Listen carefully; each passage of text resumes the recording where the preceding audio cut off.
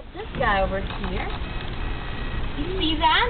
That's why they use this spike for. Because they cover themselves. So they don't look like anything Oh, but worm. they don't look like a sea urchin, okay?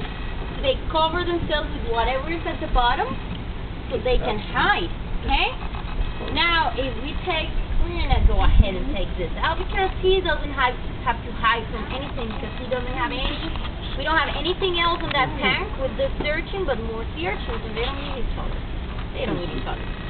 Now, some people eat the stuff, but we're not gonna eat it, alright? No, no, no.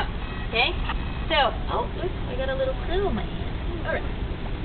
So, if you guys want to, you can pet this guy, but I'm gonna show you.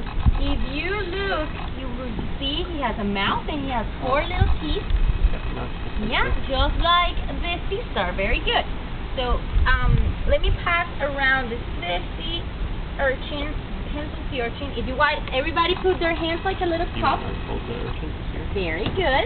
And then uh, see how this guy is walking? He's moving around. You want to hold it? You want to hold it? Put your hands like a cup. Uh huh. Put your hand in the cup. See that? He's moving a little bit, right? Noel? No? How about you? Very good. Now I'm gonna pass the other one around.